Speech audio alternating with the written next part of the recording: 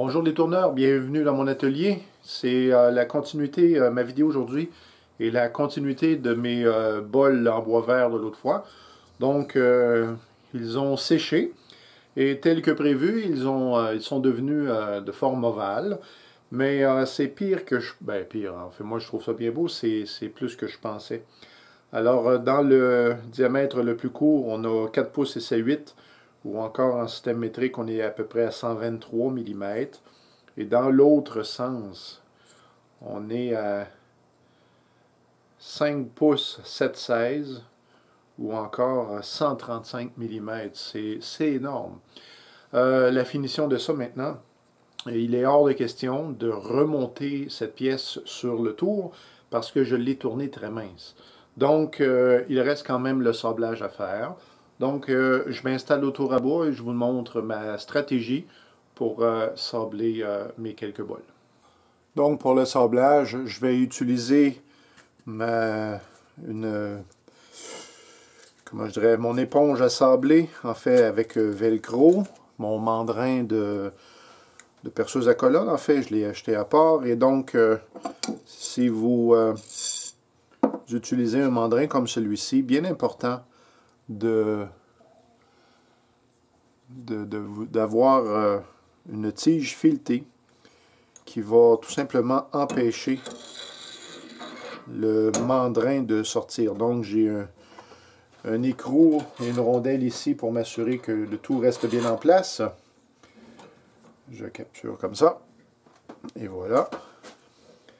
Donc vous avez compris, c'est le je vais tenir le bol entre mes mains. Et voilà. Je suis maintenant libre. Je vais utiliser... J'ai... Euh,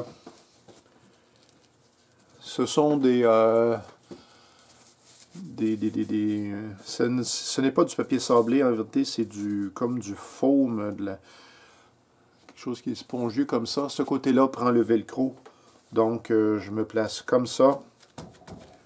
Je vais installer mon aspirateur et on y va.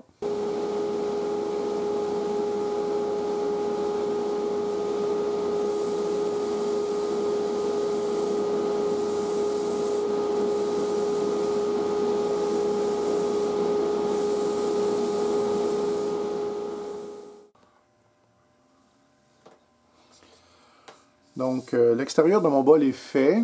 Je suis assez euh, satisfait.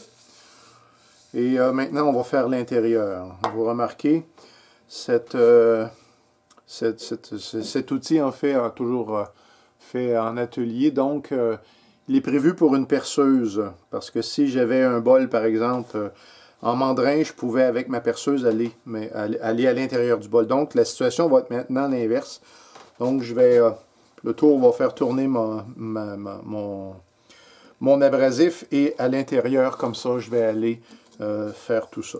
C'est pas nécessairement un bon angle pour vous, mais c'est la façon de faire et je vais encore une fois passer euh, avec euh, toutes mes étapes comme ça.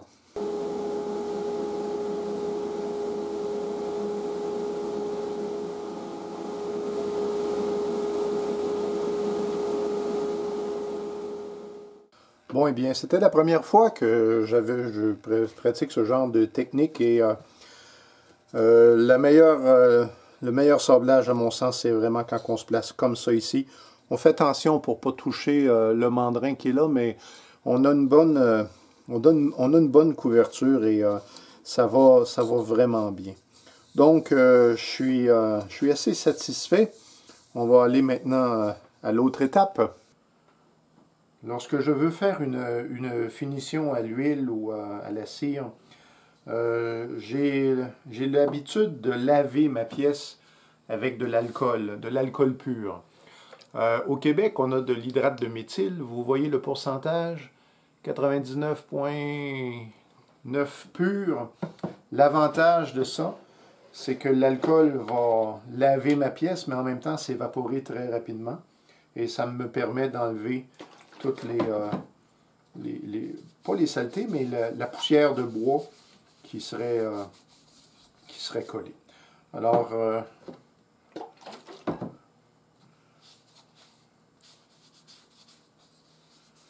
voilà. Lorsque je fais une pièce d'un bois de très haute qualité, souvent entre chaque grain de papier sablé, je nettoie la pièce. Elle a toujours, prend quelques secondes à sécher. Ici, par exemple, dans le fond du, du bol, j'avais un petit peu de poussière de bois, comme collée, et là, elle est partie.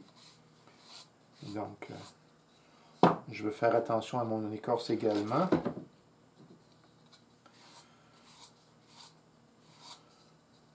Voilà.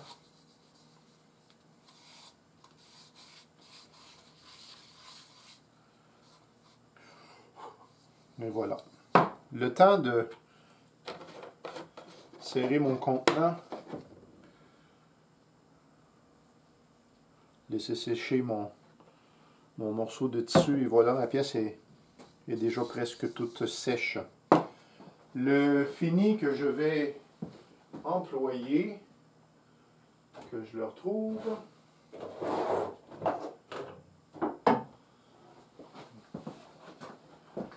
Donc, euh, pour ce, bol, je vais utiliser euh, l'huile antique de Minwax.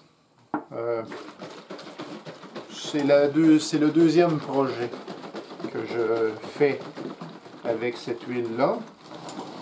Je suis encore un peu en expérimentation. Je ne suis pas nécessairement particulièrement vendu à ce produit, mais si je ne le laissais pas, je ne le saurais pas. Ce que je vais faire, c'est que je vais carrément donner un bain à mon bol. Je vais l'inonder, le submerger d'huile.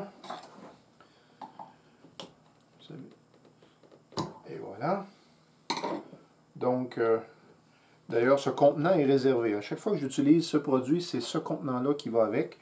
Et donc, euh, en espérant... Donc, je vais verser tout le contenu.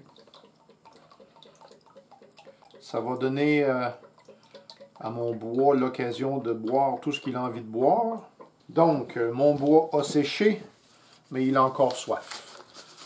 Donc, cette huile, ce qui va arriver, c'est que le bois va l'absorber. Et quand son bain va être terminé, je vais mettre au séchage. Et l'huile va prendre euh, quelques heures, en fait, euh, entre 12 et 24 heures. Je vais relire les instructions.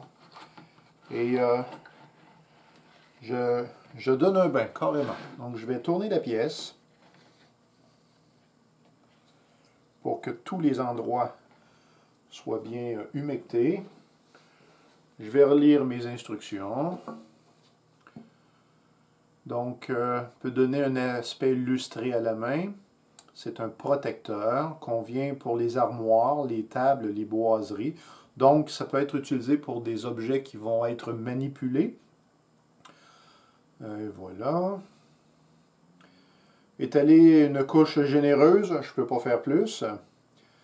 Attendre 5 à 10 minutes et euh, enlever le surplus. Si on veut un fini plus brillant, on recommence l'opération après 24 heures. Donc, moi ce que je veux, c'est que ma pièce boive.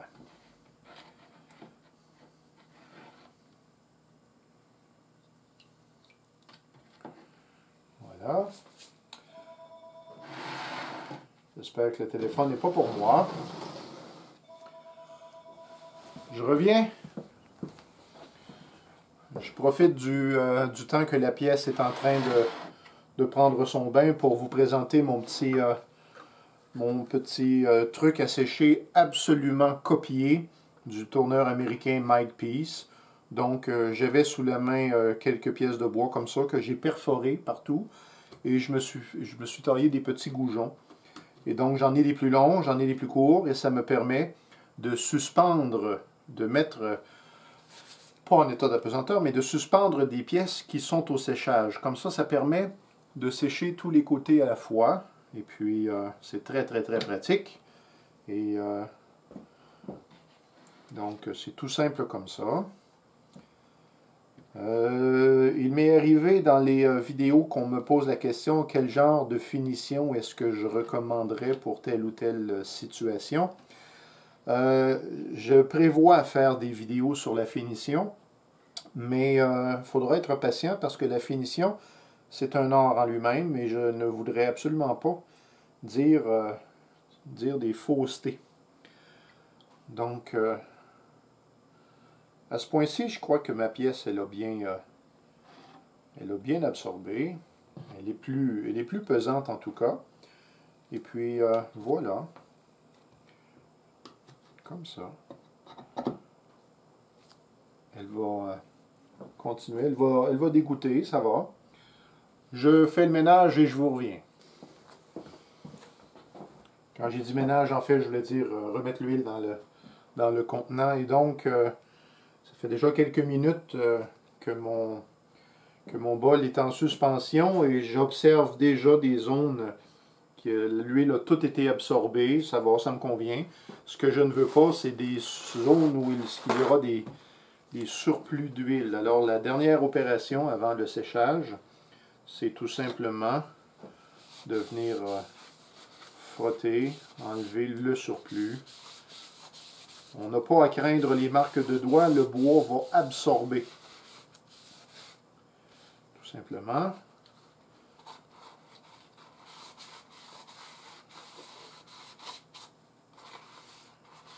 Et voilà. Donc, euh,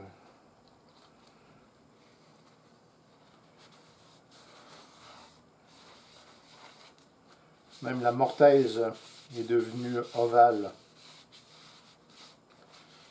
Donc, euh,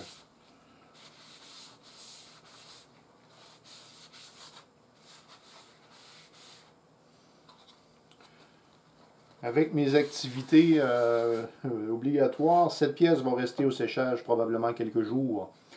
Ce que je, pour, pour finir cette vidéo quand même, euh, je vais vous montrer probablement la, suite de ça. Donc, euh, lorsque la cire va avoir séché, j'aurai pas une pièce qui va être euh, douce, douce, douce, douce au toucher. Et j'aurai le choix de réappliquer de l'huile, ce que je ne ferai probablement pas, parce que je ne veux pas un fini brillant, brillant. Lustré m'intéresse. Alors, je vais tout simplement utiliser de la cire en pâte. Bon, moi, j'ai pris cette cire chez euh. Donc, euh, n'importe quelle cire en pâte ferait l'affaire. Et puis, je vais appliquer euh, la cire et probablement qu'une laine d'acier fine, je vais aller euh, brosser la pièce à l'extérieur et à l'intérieur. Et puis, peut-être faire ça quelques reprises, suivre les instructions d'application de la cire. Et cette pièce va être donnée à un collègue au travail qui m'a donné un petit peu de bois. Et donc, ça va être euh, ça. Donc, euh, c'est la conclusion de ma vidéo aujourd'hui. J'espère que vous avez appris des choses utiles. Si c'est le cas, faites-moi signe. J'apprécie bien euh, de voir que c'est ce que je fais est utile pour vous. Et puis, donc, on se dit à une prochaine fois. Vous êtes un peu embêté avec ces gants-là pour les enlever. Voici la façon Jimmy Diresta vous créez une petite ouverture et vous soufflez dedans.